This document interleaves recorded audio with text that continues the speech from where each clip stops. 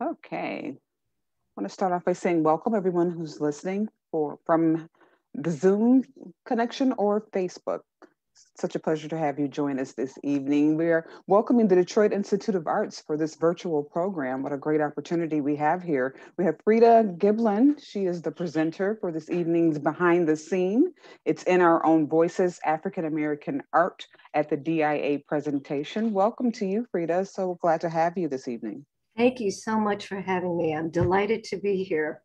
Um, Absolutely. And for anyone who's uh, watching through Facebook or Zoom, if you have a question or comment, you can pose it at any time throughout the presentation. As I mentioned before, you can type your questions in the comment or chat section. I can respond there, or if you'd like to ask your question yourself, you can unmute yourself. You can even turn on your camera if you'd like, and we can uh, take your question anytime throughout. But at this time, I'd like to turn it over to you, Rita. Thank you. Great, thank you so much.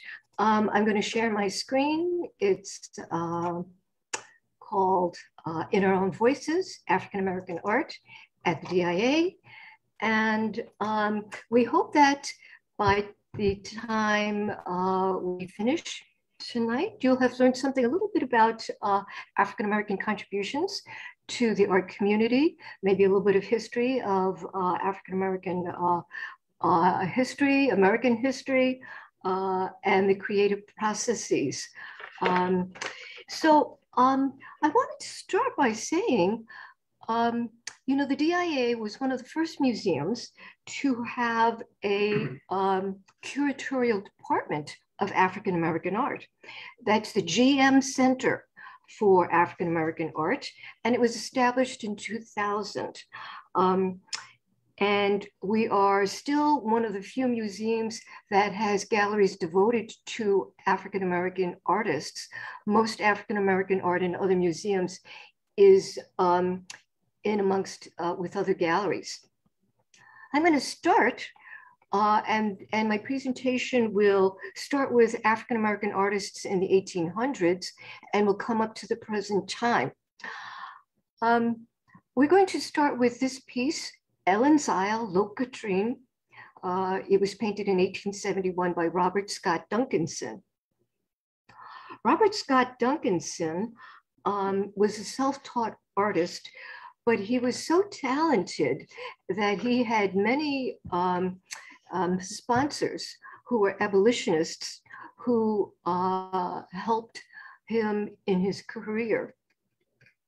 Um, he uh, painted the scene of Ellen's Isle. Uh, and this is a scene from um, a story uh, by uh, Walter, Sir Walter Scott called The Lady of the Lake. Uh, and in it, you can see uh, his beautiful landscape. There is a group of people in this boat. You see this beautiful landscape, you see these beautiful skies. And uh, Robert Duncanson was known for his beautiful rendering of skies uh, with the sunshine. And I want you to note that there's a reflection of this sun right over here, almost as if it's leading the boat of people. Um, the uh, Lady of the Lake, uh, Scott's poem, um, is a sort of a world, uh, and Lake Loch Katrine is sort of the kind of world and place that people aspire to go to. Um, it was full of optimism. Uh, it had a beautiful landscape, uh, and there was a sense of anticipation of what might lie behind. And this corresponded very well with uh, people from the South African Americans who might have been migrating to the North to find jobs uh, after the Civil War. Um, Robert Scott Duncanson, by the way, is one of the first, or probably the first African American painter to receive national, international acclaim for his art. Um, he went to Europe to study uh, and he visited Scotland. Uh, he visited various cities around the, uh, around the US as well. Um, a few years ago, the DIA actually had a uh, his gravestone sitting in the gallery where this painting is located.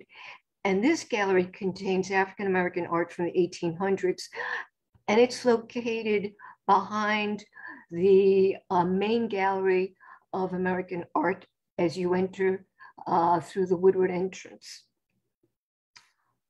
Um, okay.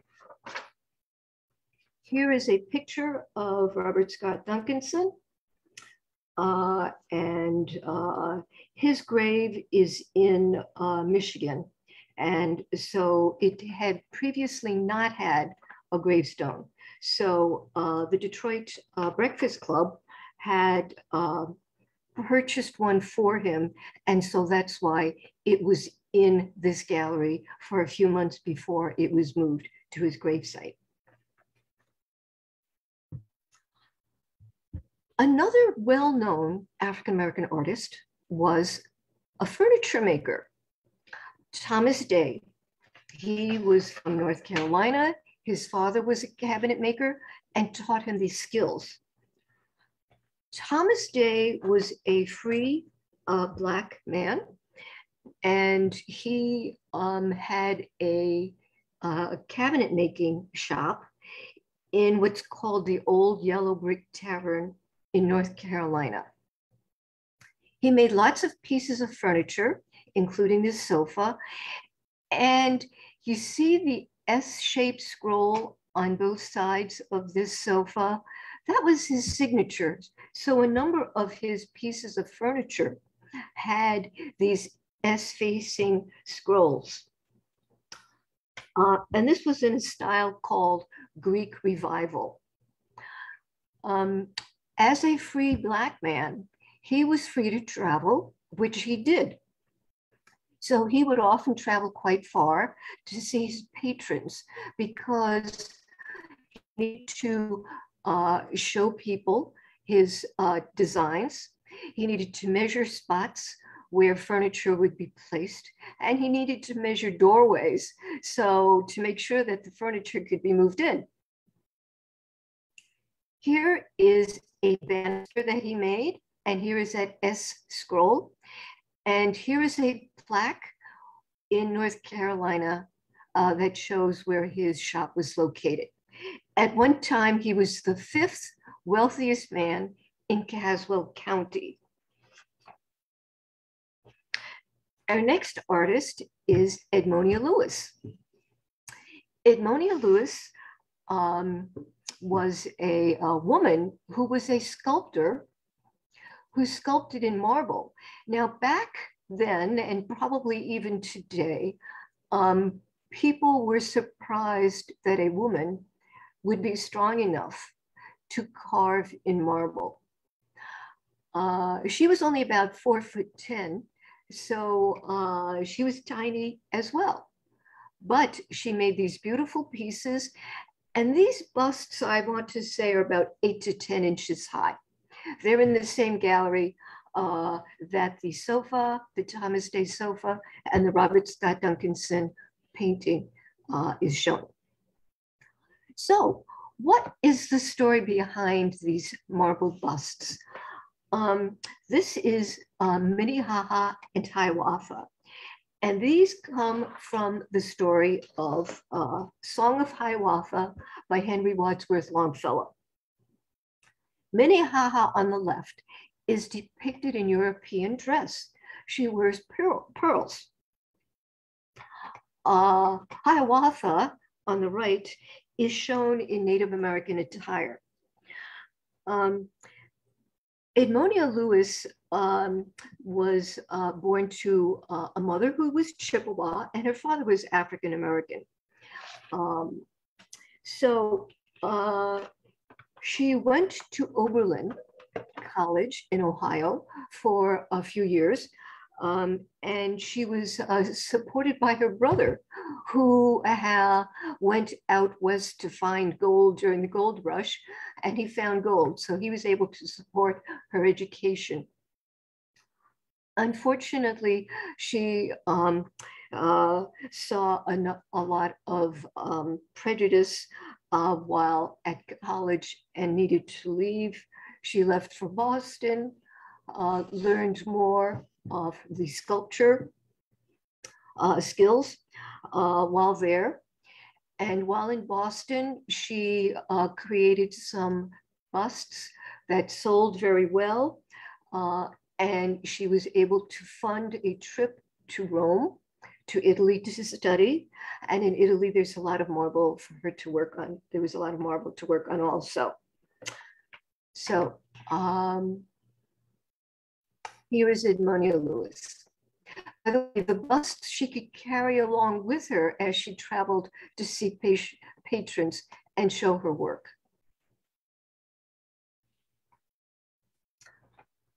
Uh, our next artist is Henry Ossawa Tanner, uh, who grew up in Pennsylvania, and he showed um, enormous uh, talent when he was quite young. And he started to attend um, school uh, the, in Pennsylvania. Uh, uh, he took art classes, and um, unfortunately, he um, was the subject of uh, some of, of, racism, and so uh, he was taught privately by some of his teachers. Chief among them was Thomas Eakins, uh, who is a well-known American painter. Um, this is a biblical scene uh, called Flight into Egypt, 1899. Uh, and uh, the story comes from um, the uh, book of Matthew in the Christian Bible, where King Herod uh, in Jerusalem is told that uh, a Messiah, Messiah had been born. So King Herod orders the death of all male babies two years and under. Mary and Jesus, and uh, with Jesus on her back, and uh, her husband uh, go or flee into Egypt. Um, and Henry Ossawa Tanner uh, shows uh, Mary and Joseph as um, everyday travelers. In many other religious paintings, you might see uh, signs um, of, uh, of, a of divinity. You might see a halo or something or bright lights. Um, and he shows them as everyday travelers. And he might have been thinking uh, that um, there are many people, including African Americans fleeing the South uh, after the Civil War to find jobs up north. And so the flight into Egypt is the story of many, many immigrants. Um, he shows this in a somewhat impressionistic style, meaning that you don't see details of the faces. You see uh, they're a little bit blurry. It's as if you glanced and then looked away. Uh, the trees also, you don't see the individual leaves or things like that. You know that it's a tree, however. Probably the donkeys are uh, rendered more carefully or closely as many as many of the other figures, or more so than any of the other figures. Now, um, one of the places where Henry uh, Ossawa Tanner studied was in Paris. So he was in France and he had done a painting and it won an award by the at the Paris Salon. And thereafter, uh, once he got that medal and became well known, he and he was the first African American to uh, uh, to gain that medal. And it was for a painting called The Resurrection of Lazarus. Um, afterwards, he painted only um, scenes from the Christian Bible. His father had been a, a bishop in the African Methodist Episcopal Church uh, in Pennsylvania. And here is Henry Ossawa Tanner. Let's come into the 20th century where we see this photograph by Prentice Polk of his wife, Margaret Blanche Polk. Um, I'm going to give you a little bit of background on some of the uh, African-American art in the early 1900s. So around um, 1917 or so, uh, there was something called the New Negro Movement. And influential uh, African American leaders um, were urging the uh, rapidly growing African American middle class um, to uh, present portraits, present their art um, of African Americans, not using European style. So I'm going to remind you that when we looked at Edmonia Lewis's busts of uh, Minnehaha and Hiawatha, you're seeing European looking faces. And this is because this is what the public purchased. Um, the uh, African American artists were learning from uh, American and European artists. And this is what they learned, this is how they learned to depict people. Um, during the New Negro movement, uh, we had um, people like W.E. Du Bois, who was an historian and sociologist, um, and uh, a, um, a major figure in the pursuit of social justice, and Alain Locke, who was uh, called the father of the Harlem Re Renaissance, uh, who had put together an anthology of poetry, plays, music called The New Negro. So they were uh, urging um, their uh, uh, a number of the African American artists to depict uh, African Americans naturally and then African American social life. Um, so Prentice Polk was a very gifted photographer. And I want you to take this, a look at this photograph of Margaret Blanche Polk. Um, he lights her up in a really very favorable way. She comes over having, you know, some personality. She, she looks uh, interested she looks alert. She looks intelligent. She looks uh, approachable. He uses lighting uh, to show to show her features, um, and um, you know this is a very uh, beautiful picture of a beautiful woman. Um, by the way, Margaret Blanche Polk was well known amongst the uh, area where she lived. They lived um, in uh, near where Tuskegee Institute, uh, now it's Tuskegee University, um, is located. And it's located in Alabama. So uh, Prentice Polk um, would um, photograph uh, and document uh, the lives of middle class uh, um, Black Americans. Uh, and he would also document uh, poor rural workers and sharecroppers as well. They had a number of, of children and uh, all of whom were educated. Uh, and Margaret Polk became a therapist. Uh, she ran a uh, restaurant for a while called uh, the Golden Tiger Cafe. And there is Prentice Polk. This next um, uh, sculpture is uh, made of clay and it is by Augusta Savage and it's called Gamin. So um, it's not bronze because right around 1930, uh, um, there was a depression going on. Plus, and bronze was very, very expensive. Um, this is a bust of the um, artist's 11 year old nephew, and it's called gamin. Gamin is the French word for urchin, sort of like street urchin.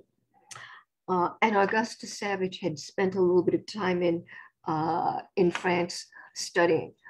Um, in the early 1920s, um, France was the place to go to learn art. Um, previous to that, Rome was the place to go, or Italy was the place to go. And Italy was still a very important place uh, of art, but Paris was becoming, uh, it was drawing a lot of artists. Um, so what do we see here? This is probably one of the first busts done of a young African-American boy. Um, and he has that look of an 11 year old boy. Um, it's sort of a, a bit of a defiant look. Um, his, his hat is sort of like, um, it's a little bit askew. His shirt's a little rumpled. He's look as if he looks as if he's saying, "You really want me to do that?" And um, so it's a very charming, charming piece. One of her best known works. And here is Augusta Savage with some of her other sculptures that she has done. She was also very uh, an important figure in uh, the Harlem Renaissance uh, because she was a teacher. Uh, she lived in New York City. She worked there, she taught there, and she became a mentor to a number of artists. Um, I think, did I skip over something? Let me just make sure. Okay. Couple in the raccoon coat. So um, this is another photograph um, by a photographer who worked in New York City. He grew up in Massachusetts, um, but uh, he soon moved to New York, uh, opened up his own place, and um, he documented a lot of things that were going on in the African American community. He documented uh, the uh, growing middle class uh, of African Americans. And um, he, he had a number of different props, he had a number of different uh, costumes and things, and uh, enjoyed putting together an interesting story in his photography. So this couple with the uh, raccoon coats um, is uh, a well-known uh, photograph of his. And um, I think what I like to see is the difference, the textures. Um, you've got this shiny new car and you've got the fur really standing, uh, you know, the fur coat standing out. Um, you know, it's a happy uh, afternoon outing in a car. Um, James Van Der Zee once said that he spent he he spent so much time and effort thinking about how he wanted his photographs to look that he probably valued the pictures, the photographs more than the owners did. So um, he was, and he was incredibly good at what he did. He worked very hard at uh, his staging and his photography. And that's why he's uh, so well known. And here he is, James Van Der Zee. Um, this is a portrait of Roland Hayes, the first uh, well-known opera singer, African-American opera singer. And it was done by Reginald Gammon in 1983. Let me tell you a little bit about Roland Hayes, the opera singer. He was born, um, his parents were tenants or sharecroppers in a place where they were formerly enslaved. Um, and so um, Roland Hayes um, did not have much of a formal education, um, but he could sing very, very well. He learned uh, singing uh, from his father. Um, he sang at church. Uh, when he was about 12 years old, he heard a recording um, by the Italian opera singer Enrico Caruso. and he wanted to become an opera singer. Um, he went to Fisk uh, University, uh, even though he only had a sixth grade education. Um, but he, so he continued his studies in uh, singing, in music. Um, he sang with the Boston Symphony Orchestra a couple of times. He sang in other places such as New York, Chicago, and uh, London. He sang for the King of England. So he became very well known. Reginald Gammon, the artist, um, uh, lived in New York City for some time. And uh, there he joined a group that was formed by a fellow artist by the name of Romare Bearden. And we're going to see some works of Romare Bearden later. But during the 1980s, um, there was a movement towards, um, excuse me, um, there was a movement towards Black empowerment.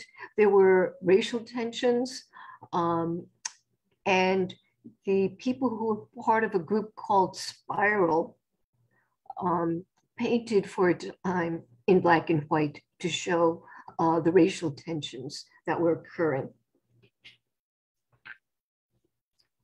And here's Reginald Gammon.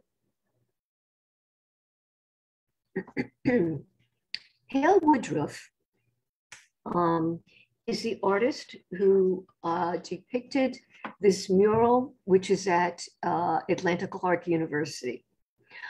Uh, it's called Art of the Negro, and these are artists, and he did this between 1950 and 1951. Um, mural. Why a mural? Um, well, Hale Woodruff was influenced and studied for some time under Diego Rivera. And if you've been to the Detroit Institute of Arts, you know that we have a huge room um, called Detroit Industry, which has murals by Diego Rivera. Diego Rivera, prior to that, um, had done a number of murals in Mexico, his native country, that depicted uh, the history of Mexico, and it mainly did so to uh, inform people who weren't as aware of the of their history. And so Hale Woodruff is uh, putting together these uh, portraits of well-known African American leaders to inform people who are some of the major figures uh, over the over the centuries. So um, some of the people that you see here are, um, let's see, Langston Hughes, the poet. Uh, I believe this is W.E. Du Bois. Sojourner Truth was a uh, woman who was a former slave. And she was such a good speaker that she became uh, a, she, she spoke, she was invited to speak across the country uh, on the cause of emancipation of, slave, of, of enslaved peoples. This gentleman here with the peanut plant is Washington Carver, and he held three patents concerning peanuts. Uh, and he was the inventor of peanut butter, uh, which was a staple um, that, uh, and he wanted to find something that could be uh, farmed uh, other than cotton uh, in the South. So, um, and I'm going to show you a picture of um, Hale Woodruff. Here's another 20th uh, century piece. Uh, this is called um, John Brown's capture, oops, excuse me, after John Brown's capture, um, Jacob Lawrence is the um, artist who did 22 screen prints. Uh, and he did the screen prints of John Brown. John Brown was a white man who, before the Civil War, uh, he was a uh, the son of a minister, and he felt that slavery was a sin against God. Um, he uh, gathered uh, former enslaved uh, Africans and uh, he trained them in the Adirondacks in New York. Um, he, um, unfortunately, he his methods became somewhat violent, and he was captured before uh, uh, before he uh, was able to um, take Harper's Ferry, uh, which was an armory. Um, he was planning on taking it by force. Um, he was captured. He was convicted of treason because back then uh, slavery was not illegal, and he was hanged. Um, and this was after he was captured. And um, his screen prints are shown with, um, and people describe this, his works as having sort of jagged angles. Um, there are very few colors. They're very flat. So, um, but they're very moving. They, they uh, really evoke a number of emotions. Uh, here, pictures that he did. He originally did them in a kind of paint called gouache, uh, G-O-U-A-C-H-E, which is a, um, it's an opaque paint, which in the light tends to fade. Um, so the DIA commissioned uh, that screen, uh, commissioned screen prints to be made, which are still delicate. And so right now we hang about three of them at a time uh, and we rotate them every few months.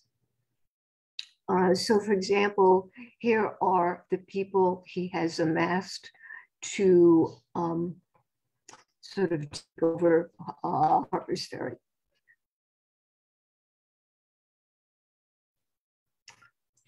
Um, Hughie Lee Smith um, stayed in Detroit for a while. Uh, he um, actually moved up north from the South during the Great Migration. Um, so the Great Migration was pretty much um, 1913 to 1946, when a number of people from the South came north to find jobs, pretty much in the industrialized cities. So um, I, his family moved to Cleveland. Uh, they came to Detroit, uh, Chicago, um, uh, Philadelphia, various other places. Um, and Hughie Lee Smith um, uh, taught for a while at Wayne State University. He won a prize, uh, a first place prize at the Detroit Institute of Arts for this painting, The Piper. What do we see here? During the Great Migration, families came north. Um, they tended to settle in poor places in industrialized cities.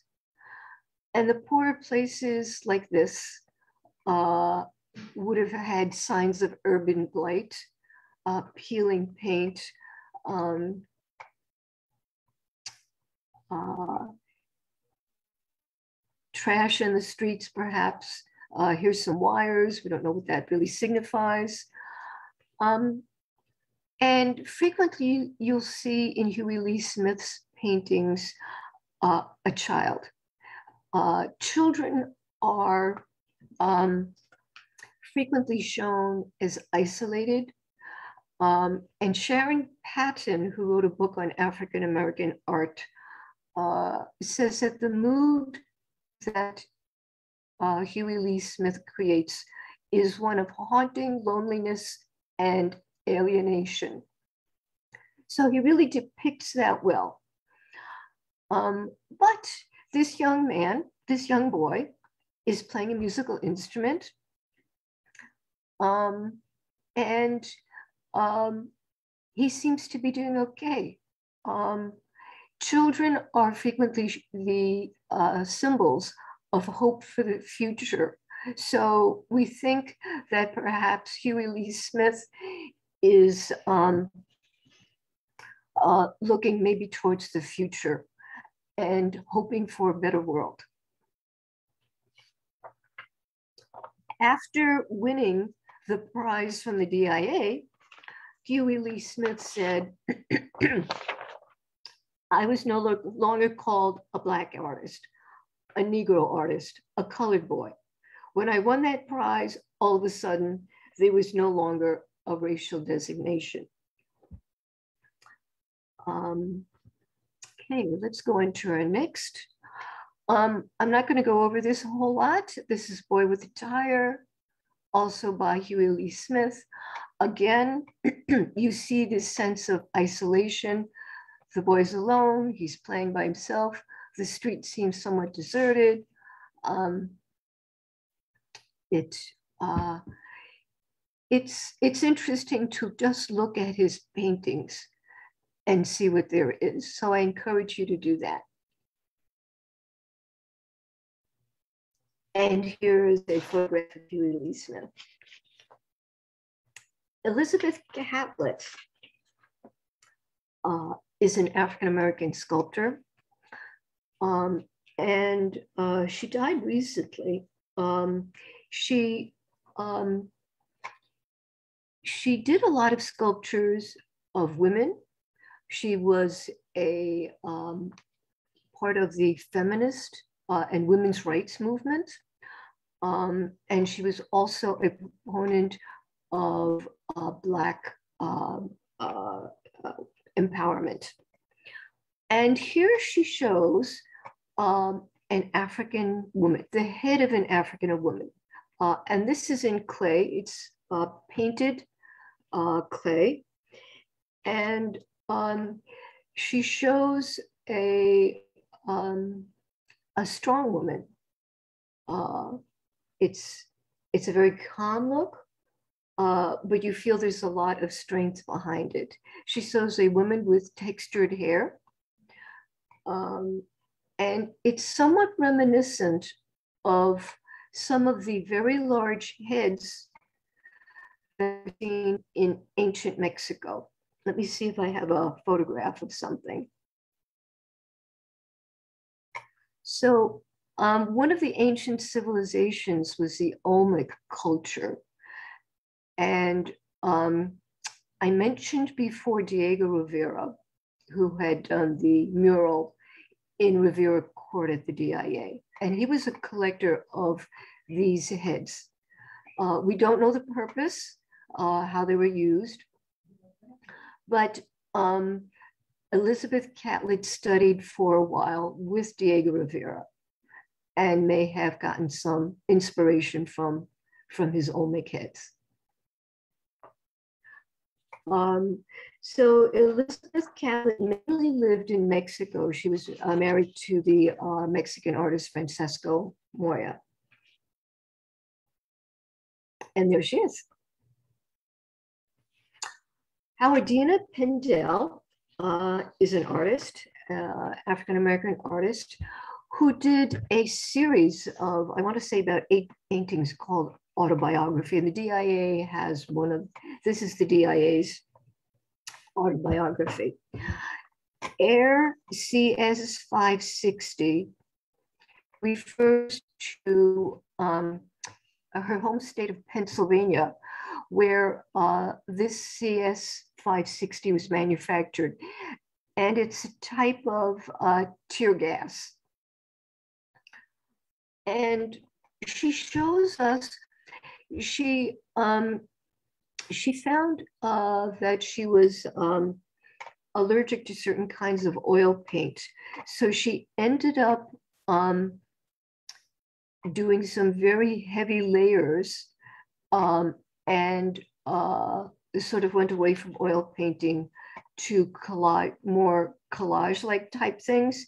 So she would take um, uh, quotations from the newspaper. Uh, there are a lot of stories that she looked into where people were either murdered, and this looks like a crime scene uh, with a body. There are four bodies here. Here's one. Here's one, here's another, and a fourth one is up here. There are strips of newspaper type uh, rating where it says beaten, killed, uh, assassinated, slave market.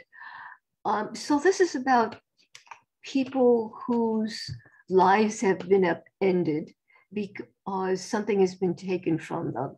They've been killed. They've been uh, they've been held. They've been uh, imprisoned. They've been beaten. Um, they've had tear gas um, uh, thrown at them.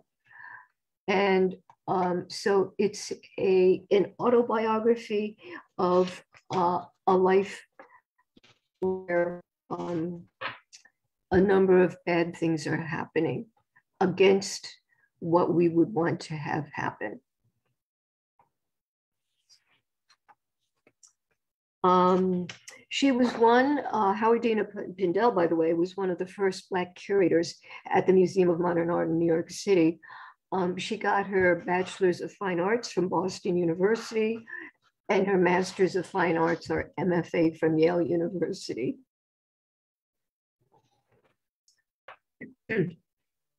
Let's see. Uh, I want to mention that there are some strips, you know, the strips of paint um, are reminiscent of, uh, well, this, it's sewn canvas. It's reminiscent of the narrow strip weavings of West African women. and here is Howardena Pindell. Portrait of Christopher D. Fisher, Fourth Reich Skinhead, 1995.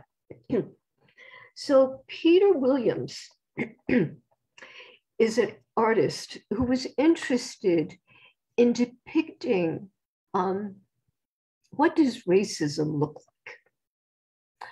And here he shows what a skinhead would look like. What, what's the last thing a white supremacist would want to be depicted as? Someone who is Black.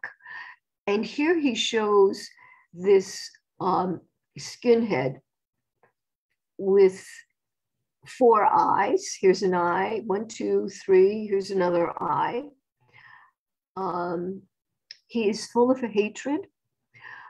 Uh, Christopher uh, Fisher, by the way, was a real person who, at the Patriot Bar, and here's the sign for the Patriot Bar, um, got together with other skinheads and they planned to bomb the first African Methodist Episcopal Church in Los Angeles. They were thwarted in advance and he was put in jail. Um, so this is peeling away the layer. What's underneath? What's underneath um, the skin of a a, um, a racist, a white supremacist. So that's what he's showing. This is uh, sort of like a cherub with a with a trumpet. This could be a call to war. Um, so there are a number of things that he puts in here that might evoke, uh, you know, thoughts for the for the viewer. And uh, here's the artist.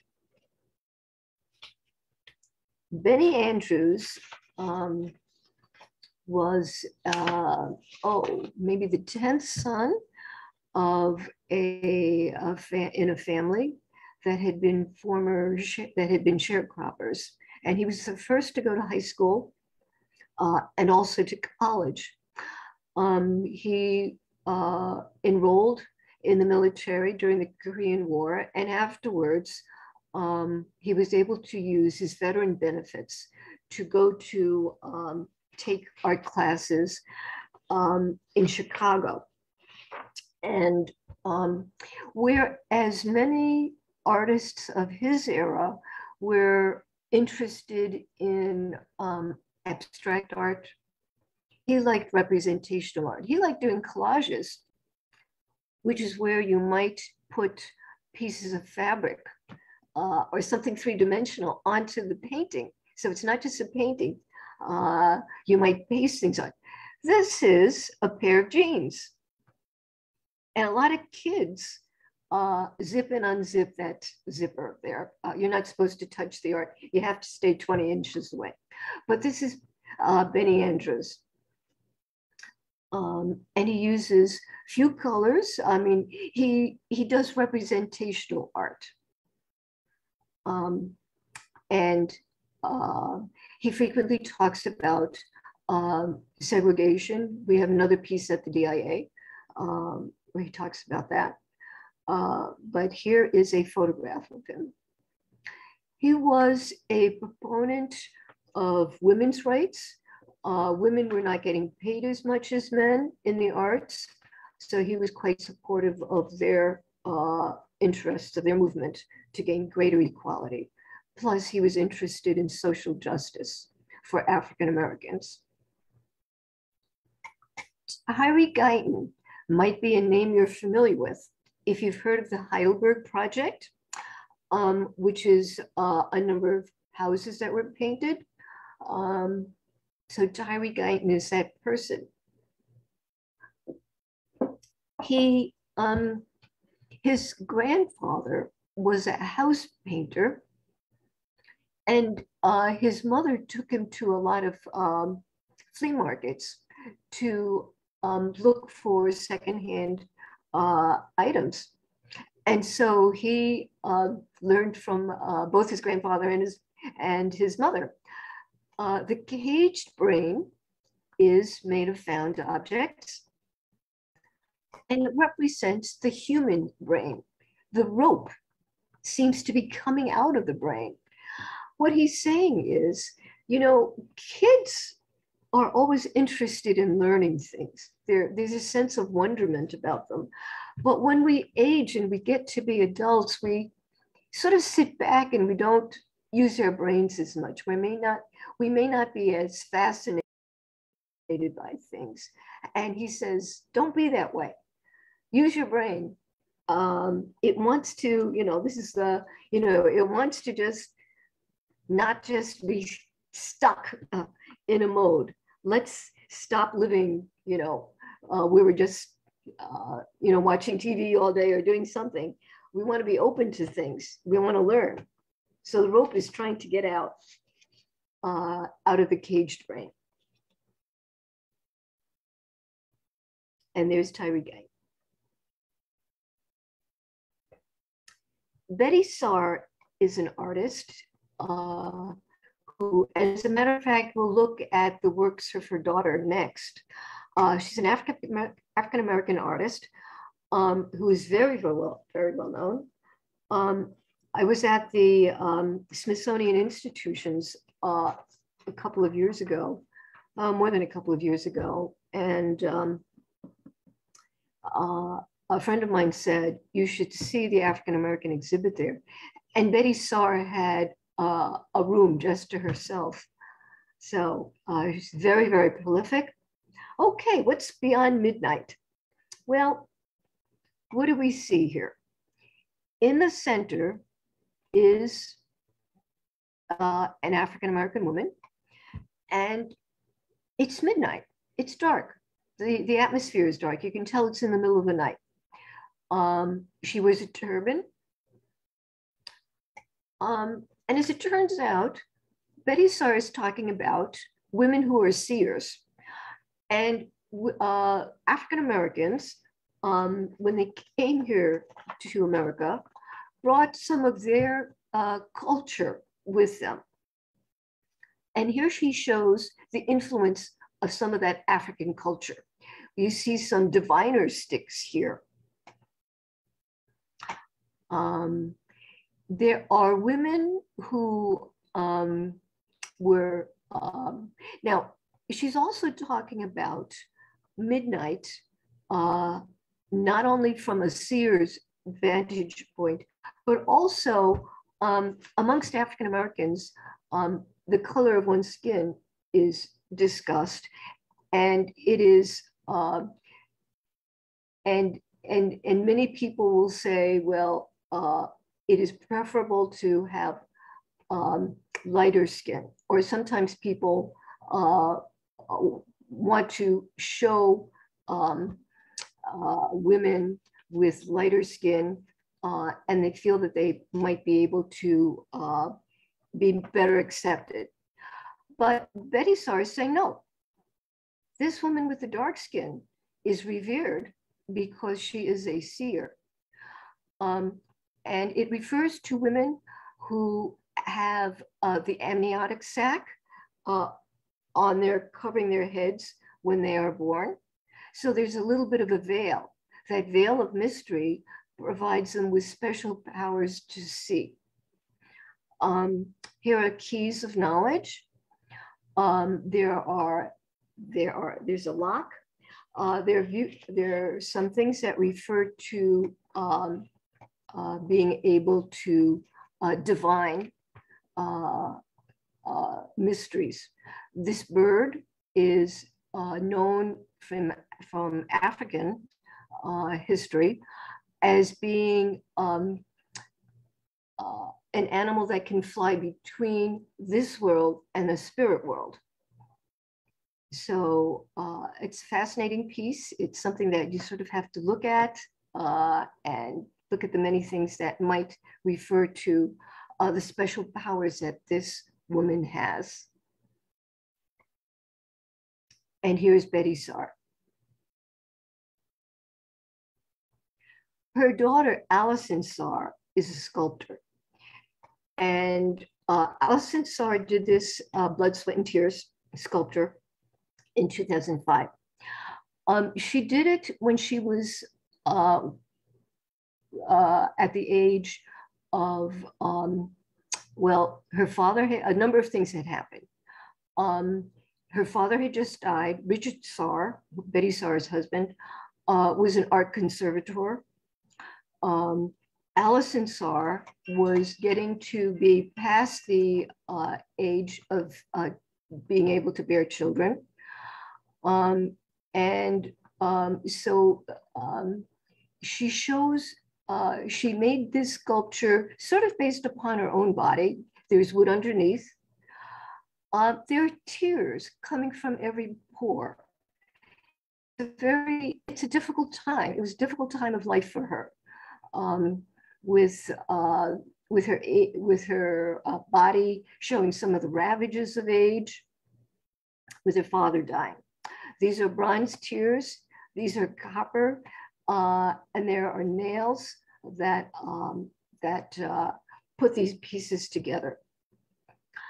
Um, the woman here stands on a, a tin ceiling tile that you might find in uh, restaurants or um, uh, bars or places where people would shop in the early 1900s. And Alison Saar likes to use this because um, she says, um, you know, they were placed in a place where many people were. So it's heard the lives of many, many people. Um, but that's the sculpture, Blood, Sweat, and Tears. Uh, and um, if I had to say in a nutshell what it's about, it would be the universality of loss. And here's Alison Saar. Joyce Scott is um, known as the queen of beads. These are beads and they're tiny beads, so they're somewhat difficult to work with.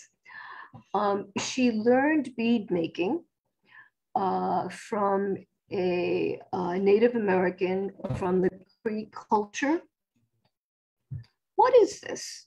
Well, you see a skeleton and there's orange flames, they're orange flames. She is referring to the African celebration of death called Dios de los Muertos, where um, there is a celebration of somebody's life uh, who has who has passed away uh, during the preceding year. Um, she shows skeletal heads here. Um, this is a symbol here. It's an ancient Asian symbol for uh, uh, called yin yang, um, which um, talks about the balance of things.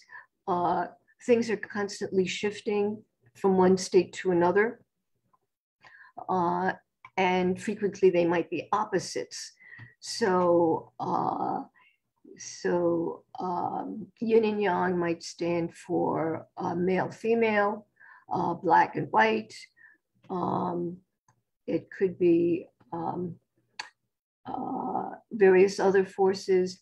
If there's certain kinds of, um, uh, well, so male, it could be like a male, female kind of difference. Um, so it's it talks about uh, how life always changes, things always change. Everything that's nothing really stays the same. Frequently, change, things will start moving to its opposite pole. Um, so uh, this is really a sort of a um, celebration of people, celebration of life, and here are two other people that you can see. Um, and in a way, Joy Scott is turning around what, what we find valuable. So a lot of times um, people might say, might value art that's a painting or a sculpture. And um, Joyce Scott is saying her beadwork, which can be worn, wear this around your neck, um, that this is uh, what she finds to be valuable. So she's sort of turning around the hierarchy of art. And there's Joyce Scott.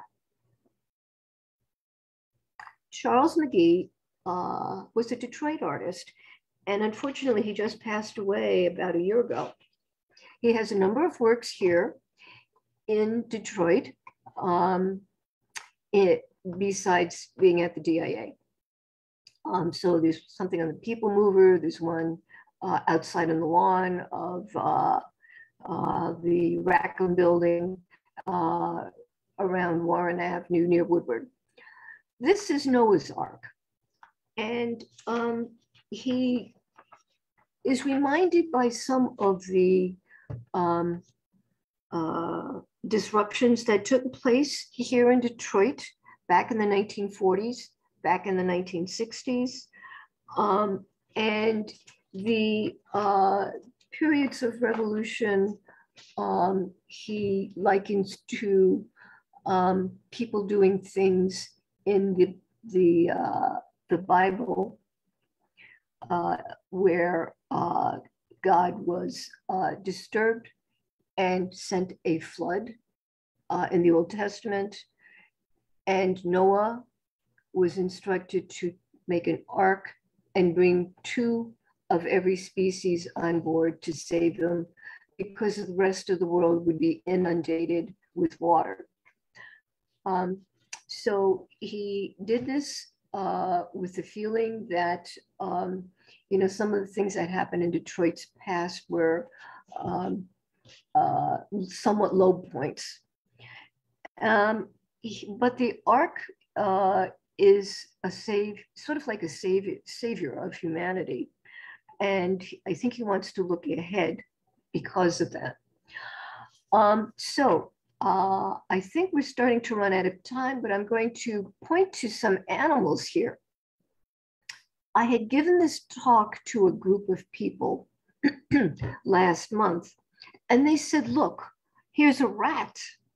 Ooh, here is a wildebeest. Here's a sort of like a centipede, all these sort of icky creatures, but they are being saved. And so maybe Charles McGee is saying even the lowest of the creatures and the ones we would sort of, you know, sort of shirk away from are being saved or worthy of being saved. Here's Charles McGee. Um, I think we've come to about an hour. and so maybe this is where I will stop. What I might do is just tell you of a couple of other exhibits that are coming up soon. Um, we currently have Robert Blackburn uh, with Modern American Printmaking, some current exhibits. We've got some really blockbusters coming up February of next year. and October of next year, Artemisia Gentileschi and Van Gogh in America. So thank you very much for having me. Um, were there any questions? Such a beautiful presentation, Frida. Thank you. Lovely Thank you artwork. Oh, we have incredible artwork at the DIA. Um, you know, we have our own um, curator of African American art, Valerie Mercer, and she is um, she's talked to the docents quite often. She's very careful to pick pieces that um, she thinks uh, young kids will like. I'm going to show you just one. Sure. That that uh, is a real uh, blockbuster with everyone. And this is by Kehinde Wiley. Wow. Who um, does these fabulous, fabulous paintings. And they look old fashioned. Why? Because frequently they, are based upon a European painting. And Kehinde Wiley wants to show us that young Black men can be heroes too. Oh, nice. Isn't it neat? Yes, now, it is. Kehinde Wiley, and that's a huge piece. You have to come see it.